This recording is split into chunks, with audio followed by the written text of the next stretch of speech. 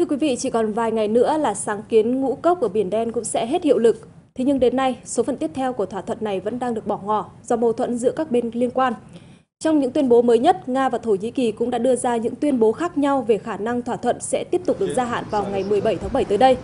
Cụ thể, Tổng thống Thổ Nhĩ Kỳ Recep Tayyip Erdogan cho biết đã có cuộc trao đổi với người đồng cấp Nga về việc gia hạn thỏa thuận và ông Vladimir Putin cũng đã đồng ý với việc này nhằm tiếp tục xuất khẩu ngũ cốc của Ukraine ra thị trường quốc tế để xoa dịu cuộc khủng hoảng lương thực toàn cầu. Tuy nhiên, theo người phát ngôn Điện Kremlin Dmitry Peskov, Nga vẫn chưa đưa ra quyết định chính thức về việc gia hạn thỏa thuận ngũ cốc ở Biển Đen, mà từ nay cho đến ngày thỏa thuận hết hiệu lực vào hôm ngày 17 tháng 7, Moscow cũng sẽ có thêm một số hành động liên quan.